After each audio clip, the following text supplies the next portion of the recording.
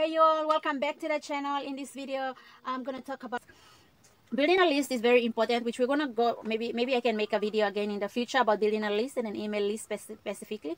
Uh, but for now it's just basic. I will talk about building a list. It's important that you talk. You have to talk with your visitors. And starting out a website or a business it can be a youtube channel or a blog or website or a shop or anything online. You need to talk with your customers. You need to talk with them and the reasons why this is that you always have to build a list. And i i mean manually also build a list. Like you can write a list of people that always visit your uh, website, people that always visit your shop, uh, your profile, whatever it is the business is that you're building, you need to talk with, and, and for reasons why you're not active, you need to also go back again to update every time and again. People need to communicate. In the, in the online space, you don't have a, a physical presence. So the way that you do it and make it more real to, for your visitors to feel that it is more like connecting to them is to talk with them. And if you're writing posts, you write posts in a way where you interact with people. You don't really have to be so over, like, you know, this uh, there's this um YouTuber that I watch, and she's a blogger as well. She's Nikisha Win, so you can you can uh, search her up. She also has a blog,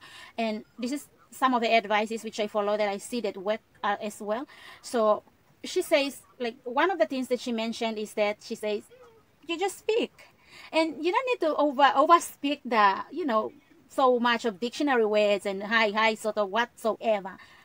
if if you want to say it in your way of saying it, you say it and that's what's going to let the people that visit your place uh, feel you and understand you on, and get to know you more personally when you begin to talk more in that manner of approach. You don't really try to make it in a way where you're so up and making everything look so good, like, you know, all that sort of thing. Just talk like I'm talking to you, like I'm talking to you now, like I'm talking, like you are you and I'm here and you're a person. I'm talking to a person. I'm not talking to some robot who's just gonna read, read, read, read, read. You know, set mind, just read. I'm talking to someone who's a person. So in that way, we are, you know, interacting and we're connecting. So yeah, that's point number six. Just build a list of people. If you have to go ahead and write a manual list, do so there are some of the people or some of your clients and visitors are going to be for a long term. Some are going to be there to stay for the short term or just there for a specific product or just, there to read a specific story. It may be anything like that. But when you build a list and you talk to them consistently then they decide to stay on for the long run. So that's that's why it is important to build a list when you're setting up an online business. If you found value in this video